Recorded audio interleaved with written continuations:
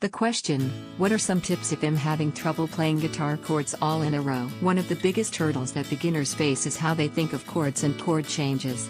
They have learned where to put their fingers this way, this finger goes here, the next finger goes there, etc. When it's time to change chords, the process starts again. This finger goes here, that finger goes there. If this sounds familiar, I can offer some advice. First, it's important to think of chords as shapes rather than three fingers on different frets and strings. When forming an E chord, practice putting all three fingers down at the same time. Repeat this enough times that your muscles remember where to go when your brain thinks C. Do this for every chord you learn. When developing muscle memory, it's best to be slow and accurate. That way your muscles will remember the mistakes. Speed comes with practice. The next thing is to look for common factors between chords.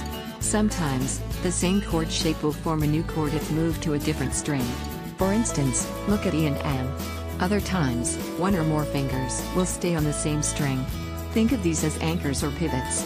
They provide a frame of reference while you move your other fingers. Let's look specifically at the three chords you know, E, A and B7. If you finger E the standard way with your second finger on the A string, that finger is in the same place when you play B7. Voila, you have a pivot.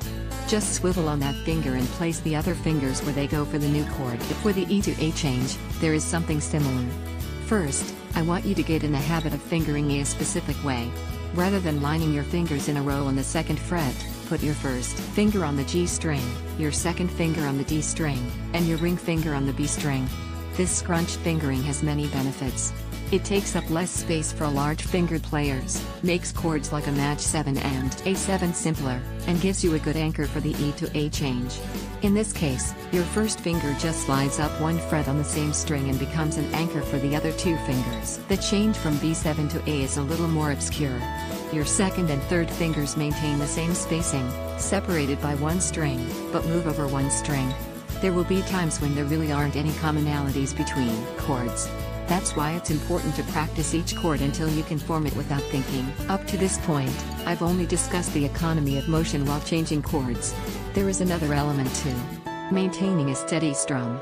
Practice these changes slowly while strumming. Use a metronome if you have one. Don't stop the strums to wait for your fingers. Music is about rhythm and keeping a steady beat. One technique that actually adds accent is to allow yourself a muted up strum while your fingers are forming the chord. Above all, practice. It will come.